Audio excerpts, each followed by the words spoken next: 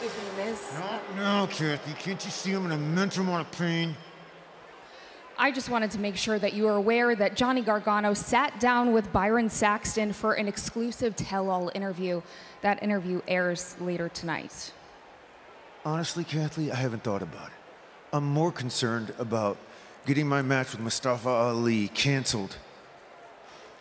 Before the record, Johnny's conspiracy theory is just gotcha journalism. You should know that a story, a story should never air or be publicized until until it is verified by multiple original and legitimate sources. Johnny Source doesn't even speak. If WWE airs this slanderous poof piece, I'll have no choice. Everyone better be prepared for a defamation suit that will make Johnny Depp and Amber Heard cringe.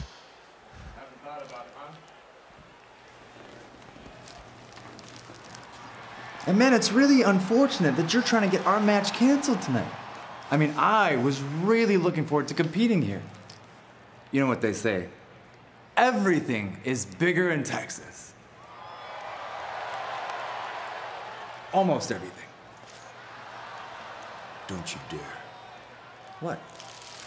Don't you dare. What?